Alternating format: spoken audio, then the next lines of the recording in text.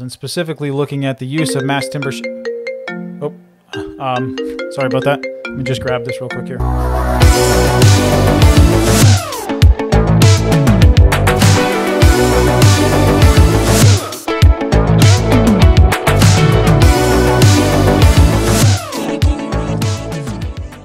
Well, hey folks, welcome back to another 2 Minute Tuesday. I'm Ricky McLain. If we're using mass timber in a building, generally we're wanting to expose that timber to the interior to the maximum extent possible. However, there may be specific instances when we need to cover that timber up or encapsulate it due to fire resistance rating requirements or other construction code needs. Now, this video is going to be part one of a two part series. In each of these two videos, we're going to take a look at three distinct areas, either building code driven or constructability driven or practical use driven, as to why we might be encapsulating mass timber elements. All right, so let's jump right into the first one. And this is really the biggest one, and that is when the code dictates requirement of timber encapsulation due to a specific construction type. When we're looking at the construction types which allow the use of mass timber in the International Building Code, we're generally looking at construction types 3, 4, and 5. And in the versions of the code previous to the 2021 edition, there were very few instances in which the code actually dictated that you had to have non combustible protection of mass timber elements. By and large, if you're using mass timber in a Type 3, Type 4 HT, or a Type 5 building, there are few provisions or few requirements that you use timber encapsulation. Now, that does certainly change as you start looking to the 2021 version of the code, specifically for the tall mass timber construction types, types 4A and 4B. Specifically, type 4A construction requires timber encapsulation 100% throughout the building. So there can be no exposed timber elements, beams, columns, slabs, etc., on top of floor assemblies, on bottom of floor assemblies, exterior walls, all of those things. All the timber has to be encapsulated in type 4A. In type 4B, most of the timber does need to be encapsulated. There are specific provisions allowing certain percentages of a floor area or dwelling unit area uh, as a square footage percentage that the ceiling can be exposed or walls can be exposed or some of each. But there are limited allowances for exposed timber in type 4B. And then type 4C, you can expose all of the timber throughout the structure, very similar in the way that you do so with type 4HT as well as with types 3 and 5. Right, there we're going to take a look at today is shaft walls, and specifically looking at the use of mass timber. oh, um, sorry about that. Let me just grab this real quick here. Uh, hello, this is Ricky. Hey, Ralph. What's up? Oh, you're there now? Oh, you've got some nice shots, huh? Do you mind if I? I'm actually doing a video right now. Do you mind if we uh, if we shared them? Let people kind of see what the status of the project is. Awesome. All right, yeah, I'll put them up right now. All right, thanks. Talk to you later. Bye.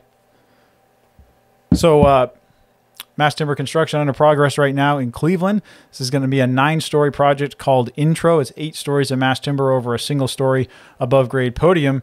And we have some shots here from Seagate Mass Timber. So you can see really exciting project under the works uh, now. All right, so back to what we were talking about, shaft walls. For using mass timber in shaft walls, the code does allow this. It does allow this in all of those construction types we talked about previously, with one exception if we are using a type 4A building that exceeds 12 stories or 180 feet, we can no longer use mass timber shaft walls. In that instance, we have to use non-combustible shaft walls.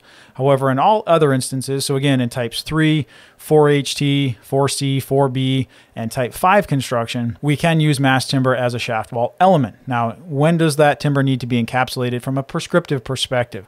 Well, specifically, if we're using it in Type 4C or Type 4B construction, we do need to encapsulate both faces of that mass timber shaft wall. That's just a prescriptive code requirement.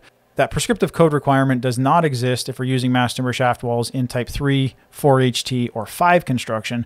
However, we still may be using encapsulation on one or both faces, whether it's to achieve fire resistance ratings or to help with acoustics, which really leads well into our next topic, and that is acoustics.